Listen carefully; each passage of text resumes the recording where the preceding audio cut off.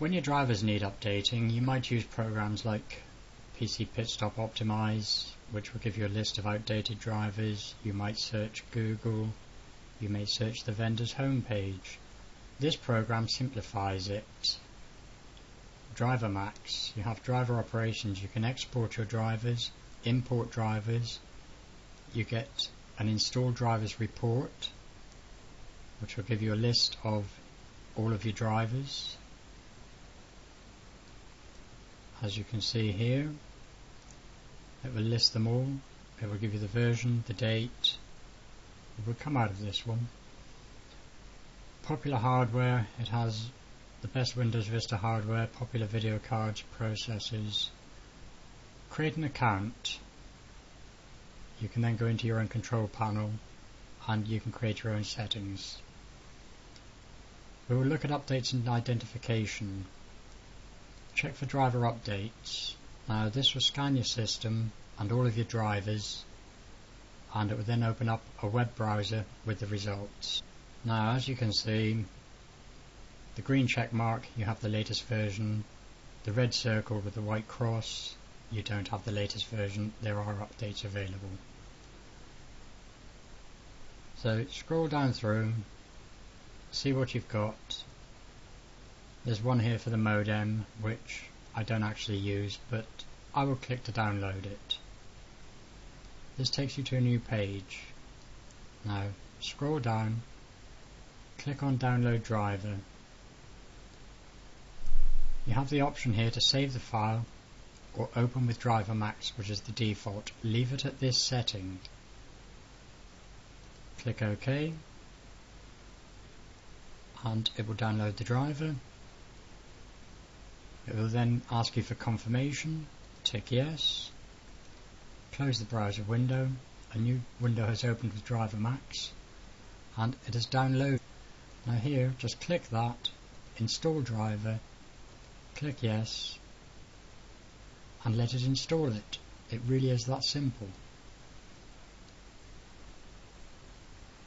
Now here it's telling you what you have installed.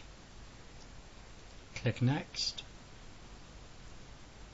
next again. Yes. And you'll get a small window showing you that the driver is being installed. That one disappeared very quick. Again we will check for driver updates. A driver for Realtek. Download this one. Again on the download page. Click the download. Save to the DriverMax default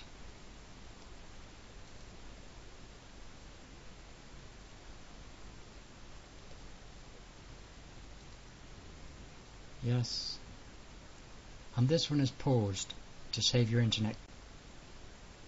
Now it is started and it will install the latest driver which will then appear in the downloaded window here. Once the download is complete, it's here. Install the driver, select yes,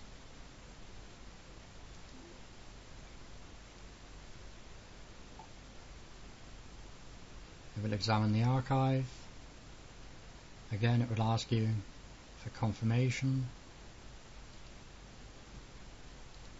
Select yes. And it will take a few minutes and you'll have this little window running. You may find that your firewall asks you for permissions. You need to grant it permission to allow the installations. And you can download all of the drivers at the same time if you like or you can do them one at a time. It's entirely up to you. Now as you can see this one has been installed as has the previous driver and the one thing you need to do is to restart your computer to finish the installation. I won't restart at just the moment but this gives you an idea of how simple it is to download and install new drivers rather than hunt the web and go to the vendor's website and whatever. If you want more information, check out my blog at Free PC Security, which you can Google search for, or you can go to cotojo.wordpress.com. I hope this has helped you.